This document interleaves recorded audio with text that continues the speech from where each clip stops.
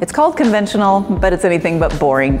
The number one home loan product in the United States has been, will be, and probably always will be the conventional loan. Why is that? It's because it's so flexible. It gives well qualified buyers the lowest rates, the most flexible options for down payments and terms, and it is one that we are very familiar with building and closing for our clients.